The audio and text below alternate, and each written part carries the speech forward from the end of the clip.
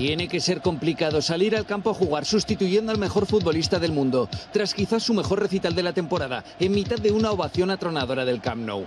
Este hombre lo sabía. Y si no, fíjense en su cara.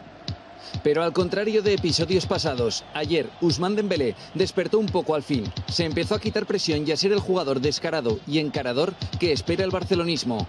Este fue el primer momento. Segundo momento de Dembélé. Si empezamos por el final, esta es la reacción del público ante la jugada que acababa de hacer el francés. ¿Qué jugada?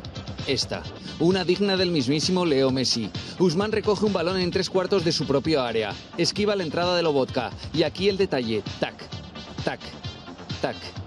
Se lo enseñamos en cámara súper lenta. Un suave toque con la zurda para colársela entre las piernas a Fontás e ir directo a portería.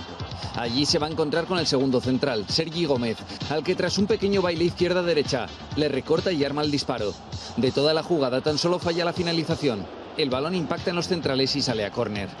Tercer momento. Si ustedes creen que el Barça ha fichado a un tío explosivo que corre por banda, Dembélé demostró con este pase a Arnaiz que tampoco va mal como asistente y de visión de juego. Pocos minutos después, Dembélé volvió a asistir otra vez, ahora de córner, para el gol de Rakitic. Su amigo Jordi Alba no tardó en ir a abrazarle y sacarle una sonrisa.